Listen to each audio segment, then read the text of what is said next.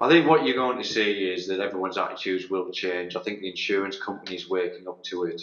And I think, you know, it's going to be like, you know, if you try to insure your household contents, you know, they're not going to insure you if you don't, if you don't have a lock that's on right. the door that's, that, that, meets a certain standard, right? Yeah. Criteria. Yeah. Certainly we have that in the UK. I don't know if it's the same in the U.S. It's it's uh, coming on 100 miles an hour here. Exactly. Yeah. Right. Mm-hmm.